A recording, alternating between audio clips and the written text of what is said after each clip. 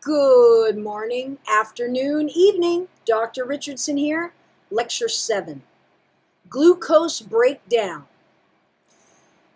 Now, we will be building from previous lectures on these topics. So let's uh, get a rewind here for a second. Uh, we learned in lecture 6 cells break down molecules in exergonic reactions energy is released, and that energy is captured, caught, and carried to the place where ATP is made. This is done by electron carrier molecules. Then that energy is put into the ATP molecules between the second and the third phosphate.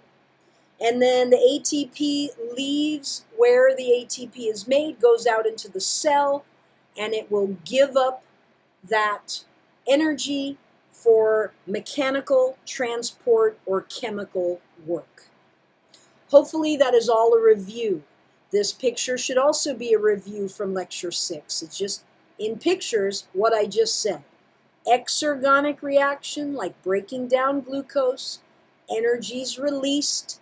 That energy is taken to where ATP is made inside of the orange square ATP is made from ADP and a lonely phosphate bond together to become ATP. ATP leaves the mitochondria where we make ATP and then finds where an endergonic reaction is trying to take place, monomers forming a polymer, and the energy is given up by the ATP and then the endergonic reaction can happen. So all of that should be reviewed. Now, before we get into the details of glucose breakdown, uh, we have to tell you that it fits into the bigger picture. Now, you may or may not know all of the energy on our planet comes from the sun, all of it. And what happens first is plants, autotrophs, will take in that sunlight and also water and CO2, carbon dioxide. And plants make glucose. They also give off oxygen. It's a byproduct, a side product. But now we have a plant, right? With that energy inside because it made glucose. And then we eat the plant, heterotrophs eat the plant. We break that material down into glucose we do glucose breakdown, we make ATP, and that is how we have the energy to do what we need to do. And what's really interesting is that in the glucose breakdown reaction, water and carbon dioxide are the byproducts, and water and CO2 are exactly what the plants take in to make glucose. So it's kind of like a circle uh, energy comes from the sun. Plants do photosynthesis. They take in CO2, take in water, and they're going to make oxygen and glucose. Then we eat the plants. Cellular respiration is another term for glucose breakdown. And then we break down the glucose and we make CO2 and water. So I like to call this the circle of life. You might have seen the Lion King, King when you were a kid, but the circle of life.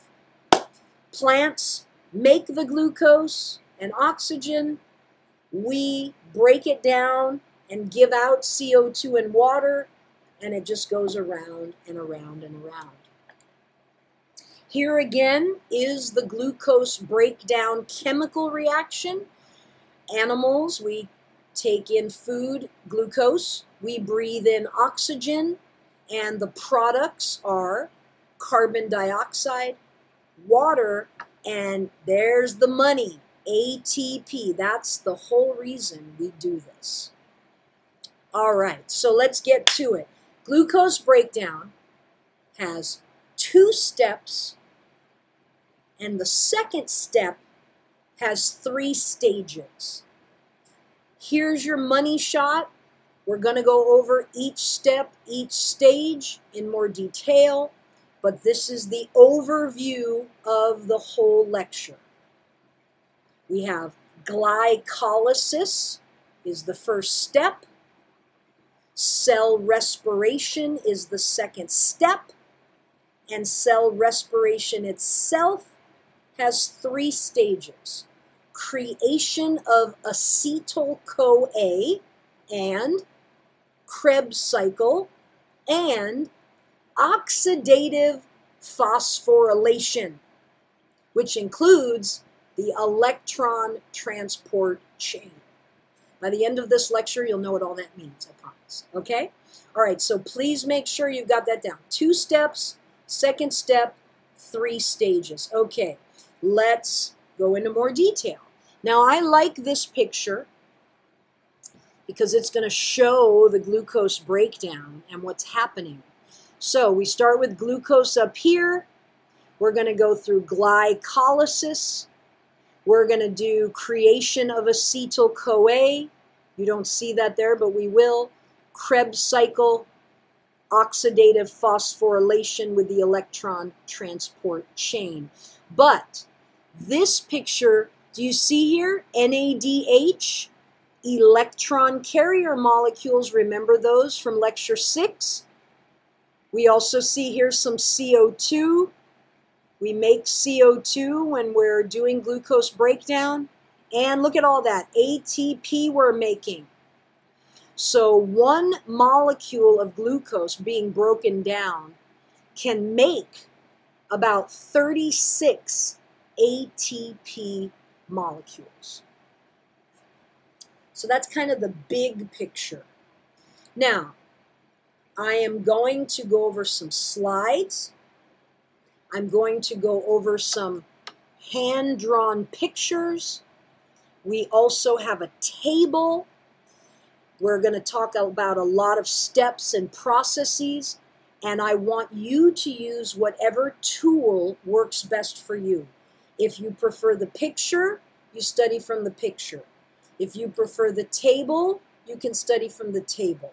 If you prefer the slides, you could study from the slides, but I do recommend, if you can, studying the table or the pictures or both, and that way you won't have to go back through a long PowerPoint, okay?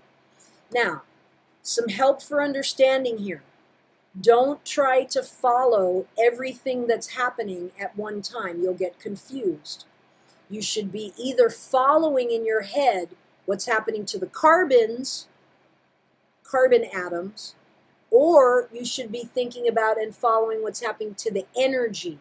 If you try to follow it all, you'll get confused. So my first tip, go through it all following the carbons, go through it all again following the energy, and I will I'll do the same thing. Another tip, all of the energy that's being picked up by all these electron carriers along the way will all get dumped at oxidative phosphorylation. Nothing's going to happen to the energy until oxidative phosphorylation. Next tip, don't worry about how many ATPs have made made now. How many ATPs are made now? Don't worry about it as it's going because there are small amounts of ATP made along the way. But the big deal is the, the, the 30 ATPs made at the end. And finally, a good tip, all CO2 that's made is going to get breathed out. It's going to leave the cell into the blood, into the lungs, and we're going to breathe it out. So some tips for understanding. If you get confused, come back to these tips and then go at the material again. And if you use those tips, it should help. Okay, let's get started. First step of glucose breakdown is glycolysis. I want you to know where these reactions are taking place in the cells, which is why we, we have a little asterisk here. Where is this taking place? Glycolysis is actually three different chemical reactions. We are not going to make you memorize each lecture, but I need you to understand the overall picture of what's taking place. Glucose is being changed into two pyruvate molecules. The other thing that's happening is some NAD plus is going to pick up some energy and become NADH. Now, let's look at the picture here, and then we'll look at our picture here. So, here's our glucose molecule. Remember, C6H12O6 means there are six carbon atoms, and that's what these gray balls represent.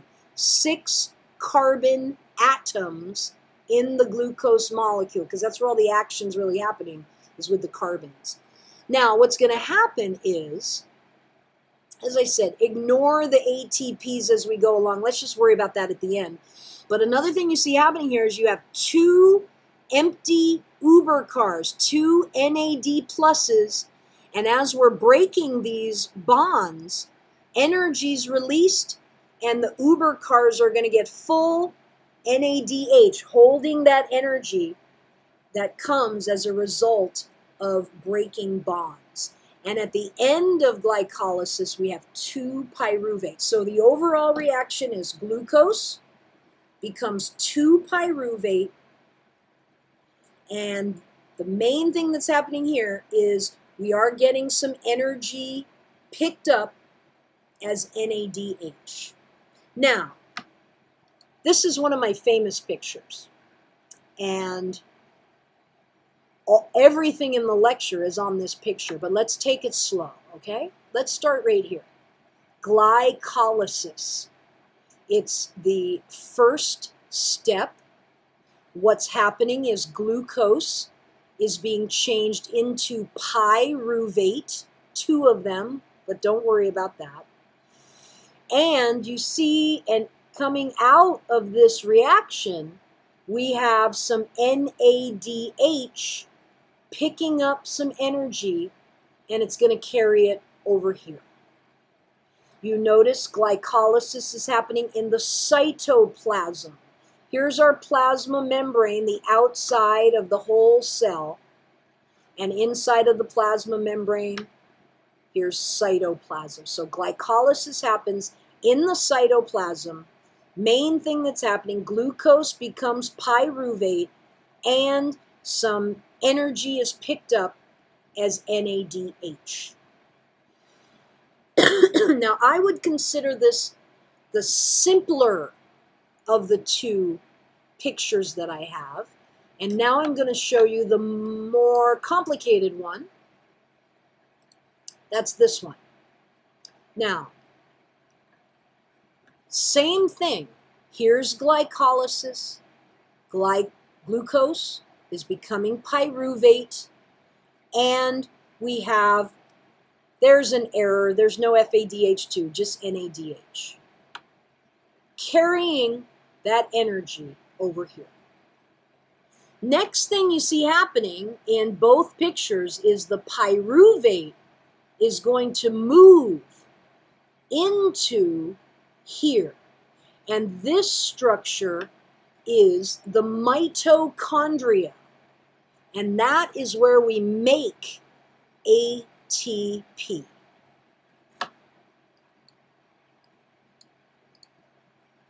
All right.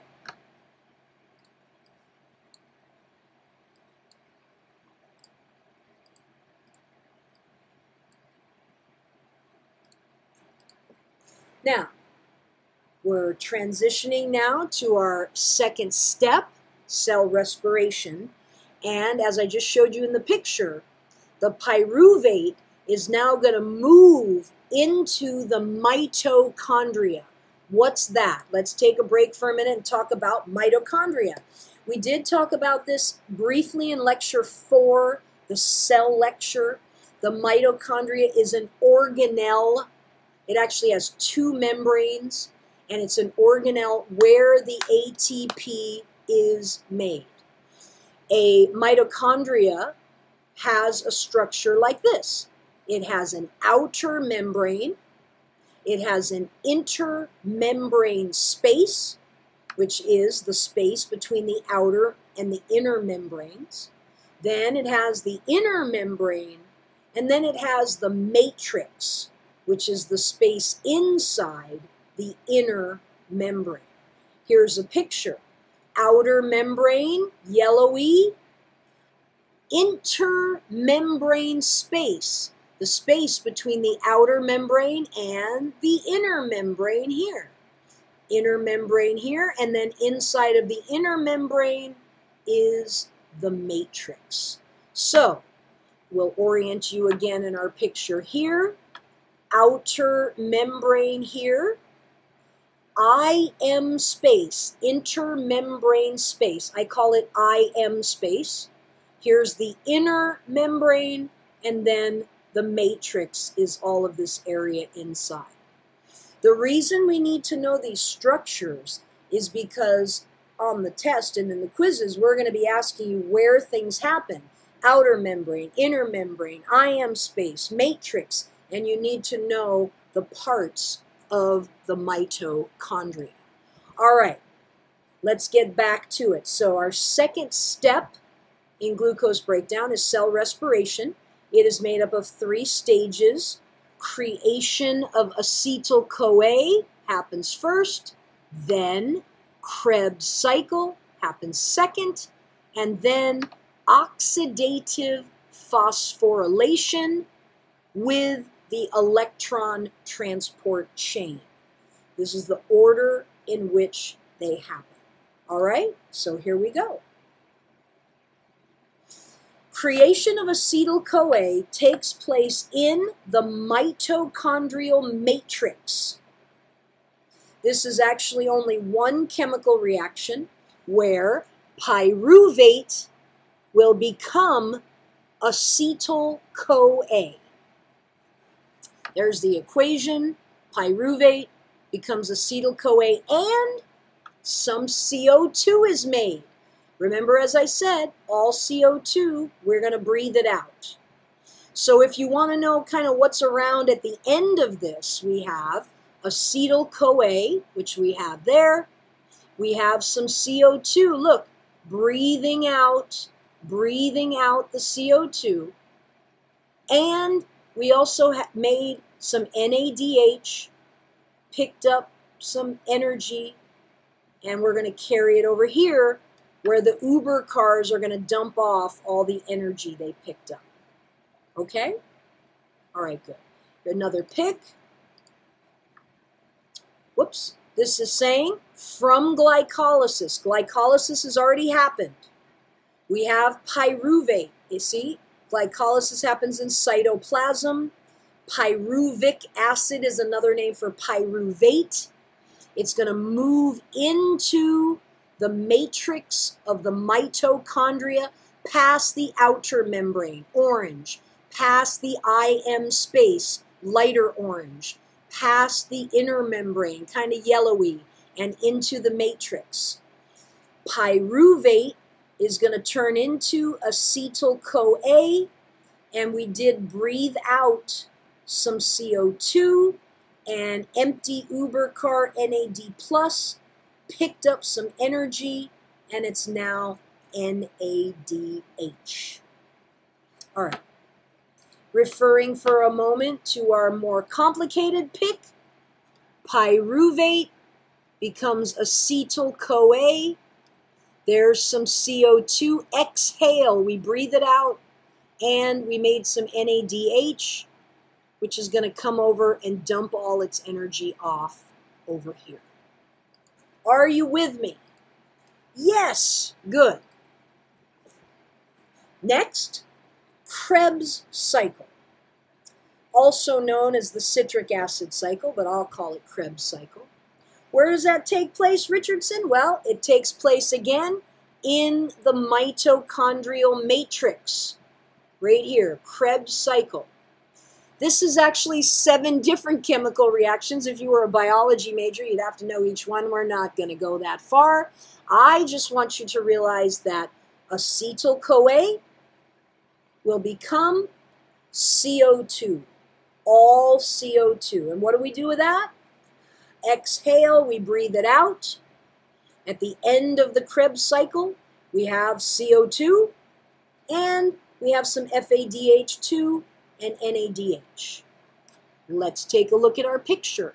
Krebs cycle, acetyl-CoA, all CO2. That will be breathed out as before.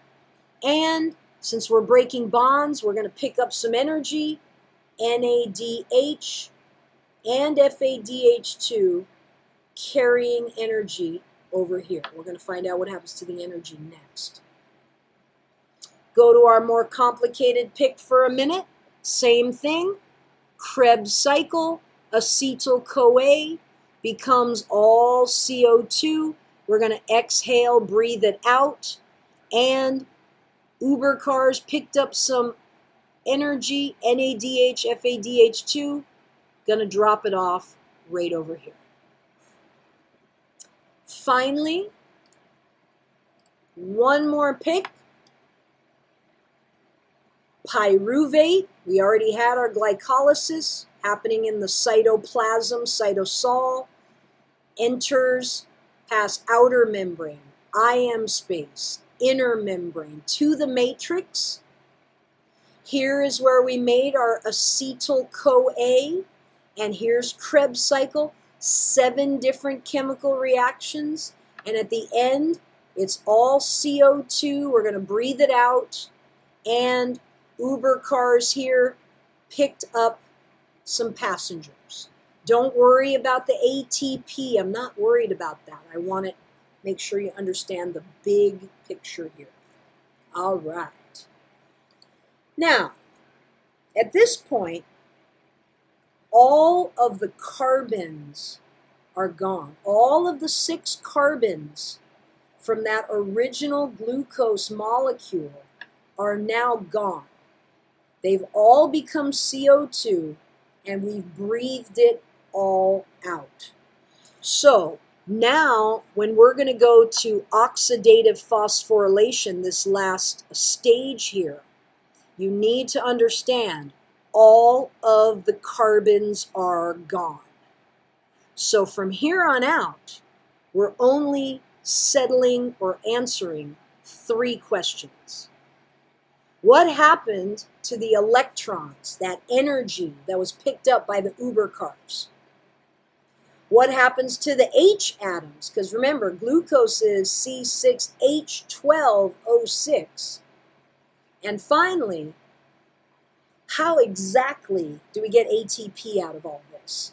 So now we're going to handle these last three questions.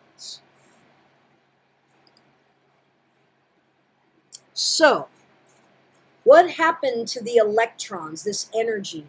As we said, at each of these stages, NAD plus, FAD picked up energy, Uber cars dropping them off right here. Now, remember, the energy is being carried as hydrogen atoms with their swirling electrons around them. But this is what's interesting. When FAD drop off the energy, it splits into electrons and H plus atoms. Hydrogen is atomic number one, meaning one proton, one neutron, one electron. And the 1 plus from the proton, the 1 minus from the electron is what makes it even, right? 1 plus, 1 minus. When we take away the electron and take away that negative charge, what's left is an H plus, just the proton and the neutron. So they kind of separate. Now, what's going to happen next is each thing will do something different. the electrons that are dumped off from the Uber car will move into the electron transport chain.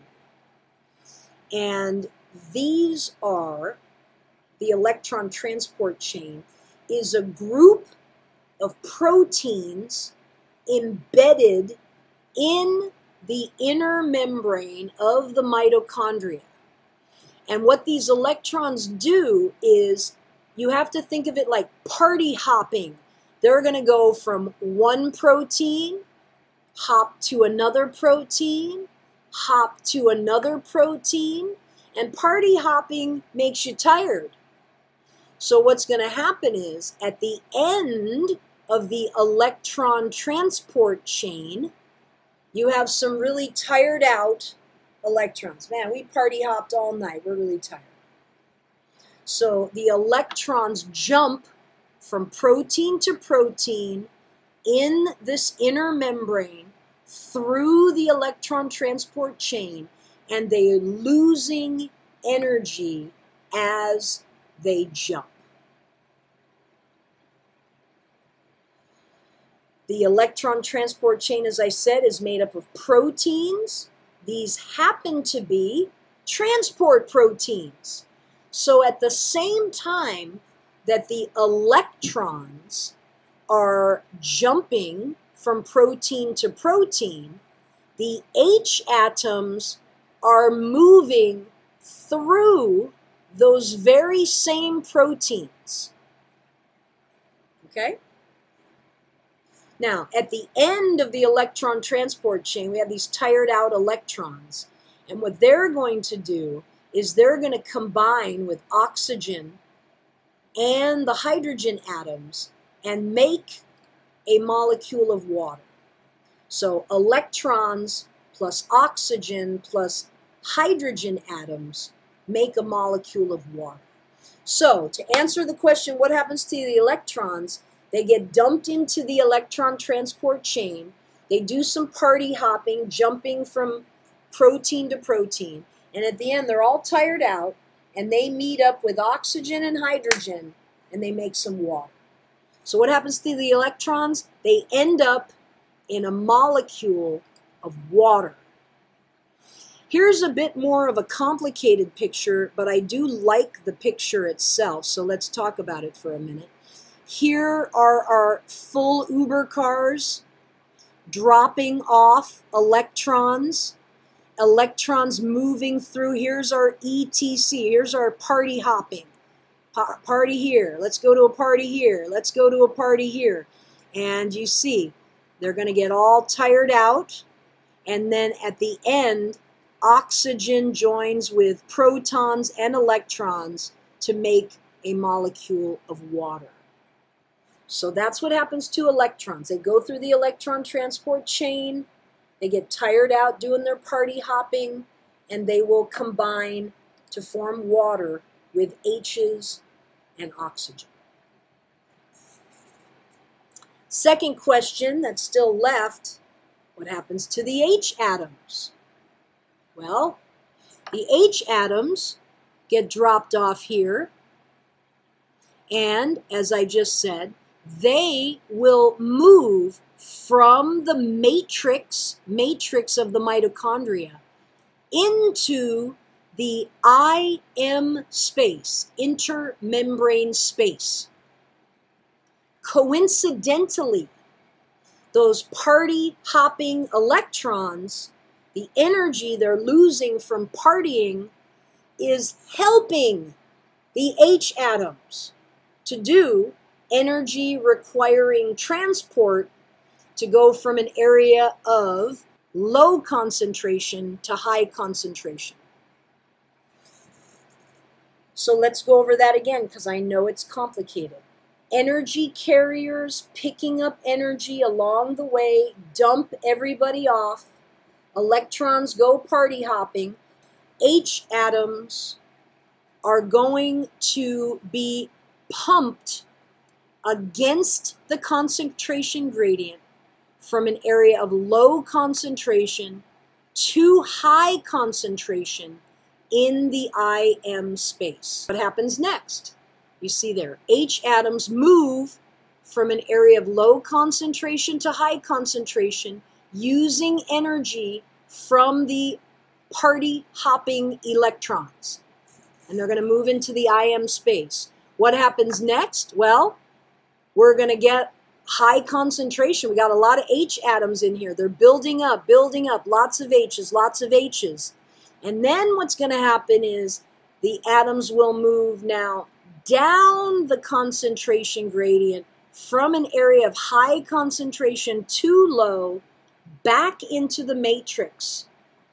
And as the H atoms are moving, they assist, help in making ATP right there. Okay, so let's go over it one more time. H atoms are dumped off. They're going to move against the gradient from an area of low concentration to high in the IM space. They're going to build up in the IM space. Then they're going to flow down the gradient from an area of high concentration to low back into the matrix. And they will make a molecule of water. All right. Here's a nice pic. So here we are. We're in the matrix here. The H's have been dropped off. You see them moving from the matrix into the IM space. They're going to build up here. Then they're going to flow down the gradient from an area of high to low. And as they're moving back into the matrix, looky, looky, ADP plus a lonely phosphate will become ATP with that energy caught between the second and the third phosphate. So H atoms, they take quite a trip, right? Okay, and finally, the third question, I already said it, but we'll say it again. How exactly is ATP made? Well, as we said here, as H atoms are pumped back into the matrix, they move through a transport protein that's called ATP synthase. Synthesis means making. So that protein does double duty. It transports hydrogens in, but the protein also makes ATP. And that happens because ADP and lonely phosphates are hanging out in the matrix just waiting for H atoms to come through and assist in making ATP. And there's the ATP that will then leave the mitochondria and go out somewhere here in the cell and give its energy back for an endergonic reaction. Wow, complicated, right? Here's a picture. Here's the IM space building up H atoms. They're going to move through this ATP synthase protein. And here's our ADP and P, going to make ATP. Wow, good stuff. I like this little video because it goes over just what we've talked about. And I, again, I think animations help when you can see the stuff moving. I think it, it definitely helps. So please take a moment and watch that video. Final score, I'm never going to ask you on a test about numbers, but just to show you what one molecule of glucose can do, can give us between 34 and 36 ATP molecules, six water molecules, and six CO2 molecules. ATPs are here. Water is made when oxygen that we breathe in plus the H atoms plus the electrons all combine to make water and the CO2 made here and here, of course, we breathe out through our lungs. ATP, water, and CO2. are the products. Here's another nice video for you just to hear somebody saying it with some different words. If there's a part you think is complicated, watch the video. It might make that part a little easier. Finally, you might be wondering, well, okay, we eat carbs and we, we break down glucose, but what about proteins and fats? Well, believe it or not, proteins and fats can participate in these reactions as well, but they enter the process at a different point. Just take a look here. So when we eat carbohydrates, sugars, we break them down to glucose, and here you see glucose breakdown here. But look, lipids. Lipids can break themselves down to glycerol and fatty acids, and glycerol can enter right during glycolysis. So it can become pyruvate and join the party. Proteins, we break those down into monomers of amino acids, but guess what? They're pretty versatile. They could enter the party, turn themselves into pyruvate and party on. They could turn themselves into acetyl CoA and party on. And they could also enter at the Krebs cycle. So if this is why someone who's maybe eating a low carb diet, you're not going to just waste away and have no energy because the proteins you're eating and the fats that you're eating can also join this breakdown. They just don't join as glucose, they join as other chemical molecules. All right, one final review, the Amoeba Sisters, they do a nice little uh, cell respiration video as well. And this video will be attached to your lecture. And before we finish, I want to show you one more thing, and that's the table that I've made. And for some people, a table might be easier to study from than those pictures that I've drawn. So on my table here, across the top, we have the steps and stages. We have glycolysis, creation of acetyl-CoA, Krebs cycle, electron transport chain, and oxidative phosphorylation, which we call OXPHOS for short. As I said in the earlier in the video, I am a stickler for where is this stuff happening. So glycolysis happens in the cytoplasm. Creation of acetyl-CoA and the Krebs cycle happen in the matrix of the mitochondria. The electron transport chain, that's embedded, those proteins embedded in the inner membrane of the mitochondria and oxidative phosphorylation happens both in the matrix and in the IM space of the mitochondria. As I've said, when you're going through it in your mind, you should either follow the carbons or follow the energy. Don't try to follow both. Let's follow the carbons. Glucose is a six carbon molecule and in glycolysis, we go from glucose to 2 pyruvate. A pyruvate, each one is a 3 carbon molecule. We haven't lost any carbons yet. In creation of acetyl-CoA, we have pyruvate going to acetyl-CoA. They do, there is some CO2 breathed out here in creation of acetyl-CoA. And then we go to Krebs cycle, and that's when acetyl-CoA becomes all CO2, and all that CO2 is breathed out. So at this point, right here, carbons are gone. Nothing happening with carbon over here. They're all gone. And how do they leave the body? All the carbons leave as CO2. Making ATP. There are small amounts of ATP made here. I'm not worried about that. But the, the big money comes over here in OXPHOS, where we make 34 to 36 ATPs.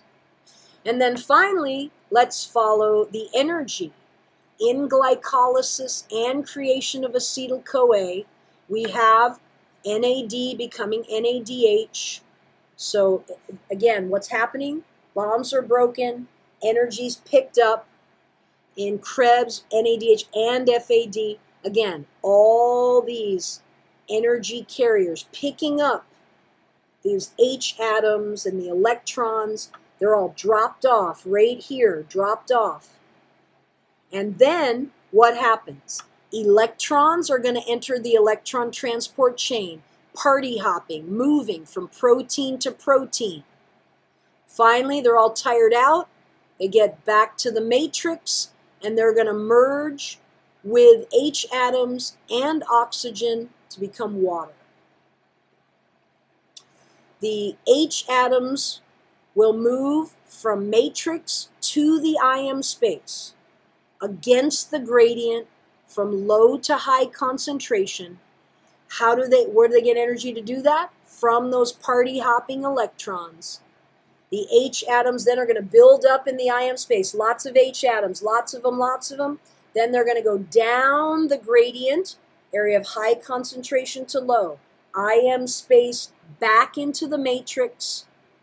And this movement of the H atoms assists, helps out in the creation of ATP. And finally, the H atoms will combine with electrons and oxygen that we breathed in to become water. All right, please, please, please, you got to go over it a lot of times to make sure you understand. And if you have any questions, let us know. But that's it. Lecture 7 Glucose Breakdown. See you next time.